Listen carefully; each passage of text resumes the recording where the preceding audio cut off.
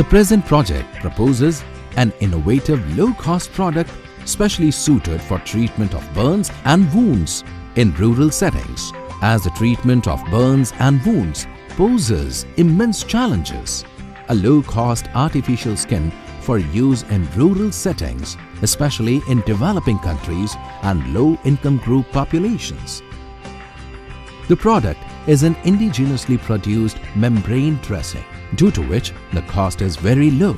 The product is a cellulose membrane in roll form with specific composition and pore size which allows only water and air to pass, but not bacteria and viruses. It is for basically for burns and wounds uh, and uh, patients in rural areas uh, because uh, whenever a person is burnt, uh, it takes time to for the person to bring him to the advanced wound care facility. In this particular case, uh, the membrane can be made available in roll form at grassroots level. And wherever there is injury or burning of the uh, you know a person uh, this membrane can be a lifesaver. It can be applied very quickly. And uh, once a person is wrapped in it it not only uh, prevents thermal shock but also prevents infection by preventing the en uh, entry of bacteria and viruses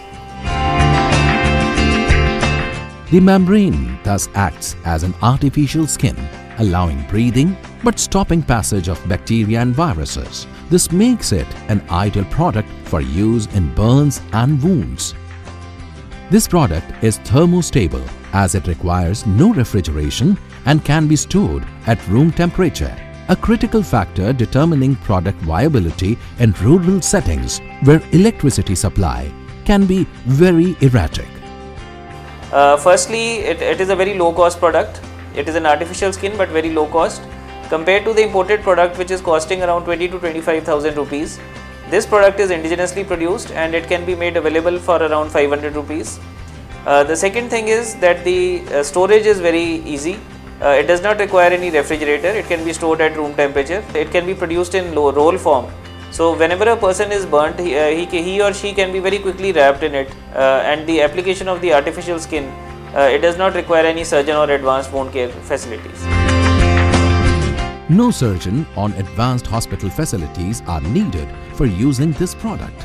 It can be used on affected person by primary healthcare workers or even family members, thus saving precious time when patient is critical and ensuring his survival during transportation to advanced medical care facilities.